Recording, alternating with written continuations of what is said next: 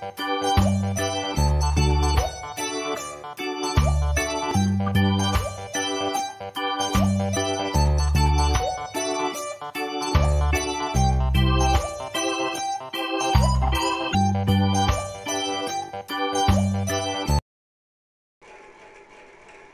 learners. In last video we learnt about runners. Now we will study about stolen. Okay. ये जो runners हैं स्टोनर्स stolons हैं, ये vegetative propagation by stem के methods हैं। हम अभी क्या पढ़ रहे हैं? प्लांट्स जो होते हैं, वो स्टेम के थ्रू वेजिटेटिव प्रोपगेशन कैसे करते हैं? जिसमें पहला मेथड हमने पढ़ा था रनर्स का। रनर्स में हमने देखा था कि जो ग्रासेस होते हैं, उनमें क्या होता है? जो स्टेम होती है, ये स्टेम है ग्रासेस की। इसमें बहुत सारी नोड्स एंड इंटर नोड्स होती हैं। एंड फ्रॉम द नोड्स जैसे ही ये नोड्स जो हैं, वो मिट्टी के अंदर दब जाएँगी in proper soil left right above below हर जगह से जब स्टेम की सराउंडिंग में सॉयल आएगी वहाँ से नोट्स एंड इंटर नोट्स पे से जो ए, आपके पास यहाँ पे एडवेंटिशियस रूट्स अराइज हो जाएँगी और नोट्स पे से ही जो है वो न्यू प्लांट अराइज हो जाएगा। लेवल ऑफ़ सॉइल यहाँ पर हमने क्या पढ़ा था? स्टेम से हमेशा ऊपर रहेगा। ठीक है? ये ग्रास का एग्ज़ाम्पल था। इसको हम रनर बोलते हैं क्योंकि ये अंडर द ग्राउंड भागती रहती है इसकी स्टेम इसलिए हम इसे रनर बोलते हैं। अब देखिए, हमारे पास नेक्स्ट एग्ज़ाम्पल है स्टोलन अब रनर और स्टोलन में डिफरेंस ध्यान से देखेंगे. स्टोलन क्या होते हैं? स्टोलन के फ़र्स्ट ऑफ़ ऑल एग्जाम्पल्स हैं हमारे पास vallisneria peppermint and wild strawberry जब ये जो पेपर पेपरमिंट होता है, उसका साइंटिफिक नेम होता है मैंथा पेपरिटा इस चीज़ का आप ख्याल रखेंगे साइंटिफिक नेम लिखते हुए कि जो फ़र्स्ट वर्ड आप लिखते हैं, उसका फ़र्स्ट अल्फ़ाबेट कैपिटल होगा और जो सेकंड वर्ड आप लिखते हैं, उसका फ़र्स्ट अल्फ़ाबेट स्मॉल होगा. दोनों को अलग अलग अंडरलाइन करेंगे, तभी वो राइट नोटेशन होती है साइंटिफिक नेम को लिखने की. ठीक है? एग्जाम्पल्स ध्यान रखेंगे स्टोलन के पेपरमिंटा peppermint vallisneria and strawberry now stolons क्या होते हैं stolons these are transverse aerial shoot ये ट्रांसवर्स होती हैं एरियल शूट होती हैं, ठीक है? Transverse aerial shoots arising from underground stem अब रनर्स भी अंडरग्राउंड थे और स्टोलन भी अंडरग्राउंड थे अंडरग्राउंड है, ठीक है? Arising from underground stem which which help in formation of new plant. The transverse connection are stout. जो ट्रांसफ़र कनेक्शन होते हैं, वो बहुत स्टाउट होते हैं and are seen above the soil देखिए, अब एग्ज़ाम्पल देखिए एग्ज़ाम्पल से हम इसके डायग्राम से इसको अच्छे से समझेंगे ये मेंथा पेपरिटा का एक प्लांट है अब यहाँ देखिए, जो ये स्टेम है, ये अबव द सॉइल है ठीक है? जो पेपरमिंट होती है, उसकी स्टेम अबव द सॉइल रहेगी। ये सॉइल का लेवल है। अबव द सॉइल रहेगी और यहाँ पे भी नोड्स में से एडवेंटिशियस रूट्स अराइज होंगी। बस डिफरेंस इतना ध्यान रखना आप। जो मेन डिफरेंस है कि लेवल ऑफ़ सॉइल स्टोलेंस के केस में नोड से नीचे होता है। ठीक है? ओनली एक पार्ट से रूट रूटिंग के लिए सॉइल मिलनी चाहिए। बाकी सारा के सारा स्टेम जो होता है वो एरियल रहता है, लेकिन रनर्स में स्टेम पूरा मिट्टी में दबा हुआ होता है।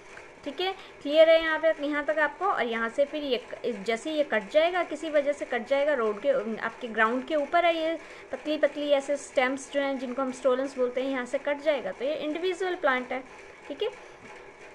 अब देखिए, ये पेपरमिंट का प्लांट है। नेक्स्ट देखिए आप सक्कर्स वेजिटेटिव प्रोपोगेशन का नेक्स्ट मेथड आता है हमारे पास सक्कर सक्कर्स का एग्ज़ाम्पल है गार्डन मिंट जो मैंथा एडवेंसेस होता, जिसको हम बोलते हैं, ठीक है? क्राइजेंथेमम है रसबेरी है बनाना है बेम्बू है पाइनएप्पल्स हैं, ये सारे सक्कर्स के एग्ज़ाम्पल हैं। सक्कर्स को ध्यान से देखेंगे। Underground stem give rise to a transverse branch अब यहाँ पे भी स्टेम अंडरग्राउंड होगी। अंडरग्राउंड एज इन यहाँ पे भी प्रॉपर सॉइल की रिक्वायरमेंट रहती है। जो स्टेम होगी, वो यहाँ पर भी अंडरग्राउंड होगी, मिट्टी में अच्छे से दबी हुई होगी। ठीक है? From which rises a new plant और उस मिट्टी में दबी हुई जो स्टेम है, वहाँ से न्यू ब्रांच आती है। The transverse connections are very stout and are underground यहाँ पे भी जो ट्रांसवर्स कनेक्शंस होते हैं, वो बहुत स्टाउट होते हैं और अंडरग्राउंड होते हैं। देखिए एग्ज़ाम्पल देखिए जरा यहाँ इसका डायग्राम देखिए। डायग्राम से ये क्लियर हो जाएगा आपको। ये आपका क्राइजेंथेमम का एक प्लांट है। देखो, अभी आप इन दोनों प्लांट को भूल जाइए। ये जो बीच में पतली सी मैंने स्टेम बनाई है पेपर पे जगह नहीं थी तो मैंने पेरेंट बॉडी का, पूरी पेरेंट बॉडी नहीं बनाई है ओनली मेन स्टेम बनाई है पेरेंट बॉडी के डायग्राम में। ये जो सेंटर में है, ये क्या है? पेरेंट प्लांट है। ठीक है?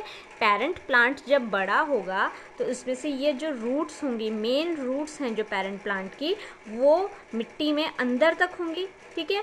और वहाँ से ब्रांचिंग जो नॉर्मली जो ब्रांचिंग प्लांट्स में आप देखते हैं, हवा में एरियल पार्ट में होती हैं, वो ब्रांचिंग सक्कर्स के केस में अंडर द ग्राउंड होगी। स्टेम में से under the ground branching start हो जाएगी। और जब ब्रांचिंग स्टार्ट हो जाएगी तो उस ब्रांच में से, उस ब्रांच के ही एक पार्ट में से रूट्स एडवेंटिशियस टाइप की अराइज हो जाएँगी और एरियल पार्ट प्लांट का ऊपर आ जाएगा। ठीक है, ये देखिए, ये भी ब्रांचेस हैं। एक ब्रांच इधर आई इस प्लांट की पेरेंट प्लांट की, एक ब्रांच इधर को निकाली इसने पेरेंट प्लांट की और उस पेरेंट प्लांट की ब्रांच से रूट्स अराइज हो जाएँगी। ब्रांच से, यहाँ नोड एंड इंटरनोड्स नहीं आई हैं, यहाँ पे सिर्फ़ ब्रांच में से रूट अराइज हो गई हैं एडवेंटिशियस रूट और फिर ये जो न्यू प्लांट है, ये एरियल है। ठीक है? अब ये न्यू ये पेरेंट प्लांट था, एक ब्रांच में से ये न्यू प्लांट बना, दूसरी ब्रांच में से ये न्यू प्लांट बना। अब ये यहाँ से कट जाएगा तो ये तीनों अलग अलग आइडेंटिटी हो जाएँगे, ये तीनों अलग अलग प्लांट हो गए। लेवल ऑफ़ सॉइल का यहाँ पर भी आप ख्याल रखेंगे। जो लेवल ऑफ़ सॉइल है, वो सक्कर्स के केस में भी यहाँ पे जो स्टेम है आपकी, ये पूरी दबी हुई होगी। बस फ़र्क नोड इंटरनोड का है। यहाँ ब्रांच में से आई है, वहाँ नोड इंटरनोड्स राइज होती हैं और नोड में से एडवेंटिशियस रूट आती है। ठीक है? क्लियर है सबको? सक्कर्स स्टोलन्स रनर्स तीनों में डिफरेंस बहुत क्लियर है अच्छे से। नेक्स्ट है हमारे पास राइजोम फोर्थ टाइप है वेजिटेटिव प्रोपोगेशन का प्लांट्स में राइजोम राइजोम में भी एग्ज़ाम्पल है राइजोम का. बनाना है जिंजर है टर्मरिक है. अब देखिए राइजोम्स में क्या होता है? Underground stem swollen for storage of fruit ठीक है? जो अंडरग्राउंड स्टेम होती है, वो स्वोलन हो जाती है और फ़ूड को स्टोर कर लेती है. They have distinct node, internode, and the new buds arise from the nodes, giving rise to new plant. ध्यान से देखेंगे आप, अदरक देखा है आपने कैसा होता है? जिंजर टर्मरिक हल्दी की गांठ देखी है आप लोगों ने कैसी होती है? ठीक है they have distinct nodes internodes and the new buds arising from nodes giving rise to new plant ठीक है? डिके ऑफ़ ओल्डर प्ला older parts isolate the newly formed branches the latter henceforth lead an independent life बनाना के, नहीं ginger के case में turmeric के case में बनाना के केस में क्या होता है? कि इनके पास डिस्टिंक्ट नोड एंड इंटरनोड होती हैं। और जो न्यू बर्ड होती है, वो नोड के पास से अराइज करती है न्यू प्लांट को जनरेट करती है। Decay of older part isolate the newly formed branches ठीक है जो ओल्डर पार्ट होता है, वो डिके हो जाता है, वो साइड हो जाता है और latter henceforth lead to an independent life देखिए, अभी हम राइजोम का एग्ज़ाम्पल देखेंगे। ये है हमारे पास राइजोम्स ऑफ़ जिंजर देखिए ध्यान से देखिए इस डायग्राम को राइजोम ऑफ़ जिंजर हम क्या बात कर रहे हैं, इसमें क्या होती है नोड्स एंड इंटर नोड्स होती हैं। ठीक है? ये क्या है आपके पास? ये एक नोड है। ठीक है? जिंजर को ध्यान से देखिए। ये एक नोड है। ये दूसरी नोड है। और नोड के जो बीच का स्पेस है, ये क्या है? इंटर नोड ये नोड है। ये इंटर नोड है। ये नोड है, ये दूसरी नोड है और इनके बीच का स्पेस जो है ये क्या है? इंटर नोड है। क्लियर है आपको? Node and internode clear है। उसके बाद हमने क्या बोला? इनमें स्केली लीव्स होते हैं। स्केली लीव ये हैं। ये जो ब्राउन ब्राउन से आपको नज़र आ रहे हैं, ये क्या हैं? ये स्केली लीव्स स्केली लीव्स हैं। ठीक है? और बडिंग कहाँ से होती है इनके? ये देखिए, ये जो टर्मिनल पॉइंट अराइज हो रहा है, ये जो टर्मिनल पॉइंट ये अराइज हो रहा है, यहाँ से फिर क्या होता है? न्यू प्लांट आ जाता है और ये पुराने वाले से ये टर्मिनेट हो जाएगा। ठीक है? ऐसे ही बिल्कुल हमारे पास ये देखिए, ये टर्मरिक है। ठीक है? ये क्या है? एक नोड है, ये एक और नोड है, ये इनके बीच का स्पेस है इंटरनोड और ये जो है, ये स्केली लीव्स हैं। ये जो ब्राउन कलर के आपको ये नज़र आ रहे हैं, ये ये देखिए ये देखिए। ये ऐसे मूव कर पा रहे हैं आप इसे। ये लीव लाइक स्ट्रक्चर है। ये क्या है? ये स्टेम है। खुद में टर्मरिक ये जो टर्मरिक है, ये स्टेम है और ये इसके लीव्स हैं। ये वो स्टेम है जिसने फ़ूड स्टोर किया हुआ है। ये इसके स्केली लीव्स हैं। और ये देखिए यहाँ पे, ये ब्रांच अराइज हो रही है। यहाँ से ये बर्ड है, यहाँ से न्यू ब्रांच अराइज हो जाएगी और न्यू न्यू प्लांट आ जाएगा। क्लियर है? ये देखिए ये पोर्शन इस तरह से यहाँ से यहाँ पे भी आ रही है धीरे धीरे करके। और ये क्या है? ये अगेन ये स्केली लीव है ये देखिए आप इसको अलग करके देख सकते हैं, ये स्केली लीव है क्लियर है सबको? राइजोम्स क्लियर हैं अब। अब नेक्स्ट देखिए, ये जिस भी चीज़ में नोड होंगी ना, इस चीज़ को बिल्कुल क्लियर रखना, जिसमें नोड होंगी, वो स्टेम है। ट्यूबर्स में एग्ज़ाम्पल आता है हमारे पास पोटैटो ठीक है? The tip of underground stem are swollen to form tubers ठीक है? अंडरग्राउंड स्टेम की जो टिप होती है, वो स्वलन हो जाती है स्वलन होके और वो क्या बना देती है? ट्यूबर अब यहाँ पे भी हमने क्या बोला कि ये स्टेम है पोटैटो स्टेम है। ठीक है? जो आप आलू जिसको आप बोलते हैं, ये है आपका पोटैटो ये एक स्टेम है, ध्यान रखना, ये पोटैटो क्या है? ये स्टेम है। ये जो इसकी आइज़ है ना ये ये इसकी नोट्स हैं यहाँ पे। इसीलिए ये चीज़ प्रूव हुई कि ये स्टेम है। जिस किसी की भी नोड होगी, वो क्या होगा? Stem tip of the underground stem are swollen ये स्वोलन स्टेम है, जो क्या बनाती है? Tubers tubers have nodes called eyes ये आई है, ये ट्यूबर की, ये पोटैटो की आई है। ठीक है? इसको हमने क्या बोला? आई और ये एक्चुअल में क्या है? स्टेम की नोड ये क्या है देखिए? नोड ये इस पोटैटो की क्या है? नोड है बर्ड्स अराइजेज फ्रॉम नोड्स इन नोड्स में से, ये देखिए बर्ड्स इन नोड्स में से ये बर्ड्स अराइज हो रही हैं. Nodes arises from the buds sorry buds arises from the nodes and give rise to new plant clear है? ट्यूबर्स क्लियर है सबको? एरियल शूट्स ये डायग्राम जो है वो क्लैरिफाई कर रहा है। क्या चीज़ क्लैरिफाई करिए इस डायग्राम को? Aerial shoots arising from the buds in the regions of nodes और eyes in potato stem tubers ठीक है? नेक्स्ट एग्ज़ाम्पल है हमारे पास बल्ब नेक्स्ट टाइप की वेजिटेटिव रिप्रोडक्शन है बल्ब। बल्ब क्या होते हैं हमारे पास? ओनियन एंड गार्लिक ये किसके अंडर आते हैं? बल्ब के अंडर आते हैं। अगेन ये एक और टाइप की रिप्रोडक्शन का मेथड है। द बल्ब आर ये वेजिटेटिव रिप्रोडक्शन के मेथड हैं। क्लियर है ना? In bulbs the stem is disc like bulb की जो स्टेम होती है, वो डिस्क लाइक होती है एंड कॉम्पैक्ट जो ओनियन गार्लिक जो प्याज और लहसन होते हैं, वो भी क्या है एक्चुअल में? वो स्टेम है, ठीक है? Adventitious root arises from the flat disc like stem ये देखिए, ये क्या है? ओनियन ये जो हैं, ये एडवेंटिशियस रूट्स हैं इसकी। ये देखिए, ये थ्रेड लाइक मटेरियल निकला हुआ है। ये क्या है इसकी? ये एडवेंटिशियस रूट्स हैं।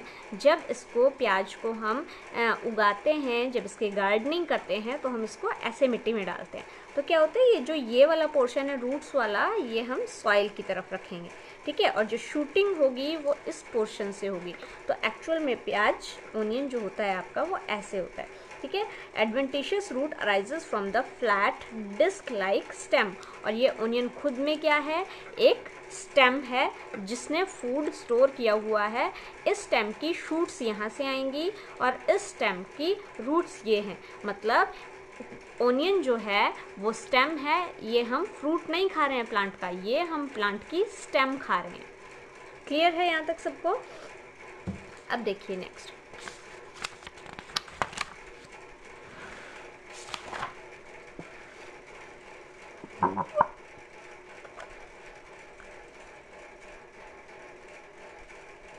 bulbs bulbs are of two types bulbs या तो ट्यूनिकेटेड होते हैं। These bulbs have an outer cover of scaly leaves ठीक है? विच फॉर्म्स द ट्यूनिक अब ट्यूनिकेटेड नॉन ट्यूनिकेटेड दो टाइप के होंगे। Tunicated bulb can be simple with common cover देखिए ट्यूनिकेटेड का मतलब क्या होता है? आउटर कवर जो होता है, वो स्केली लीव का होता है। ये अगेन हम ओनियन देखेंगे। ओनियन एक ट्यूनिकेटेड का एग्ज़ाम्पल है। ये देखिए, जिसका आउटर कवर है, ये स्केली लीव है। ये जो है, ये लीव है। ठीक है, ये समझ आ रहा है? ये जो हम निकालते हैं ओनियन को, जो हम ये छीलते हैं, जो हम ये निकाल रहे हैं पील कर रहे हैं ओनियन को तो ये क्या है? ये स्केली लीव है ओनियन का। These bulbs have an outer cover of scaly leaves, which forms the tunic. इन्होंने इसको पूरा ट्यूनिक किया हुआ है, पूरा का पूरा कवर किया हुआ है। ये जो ये सब कुछ है, ये क्या है? ये ओनियन के लीव्स हैं।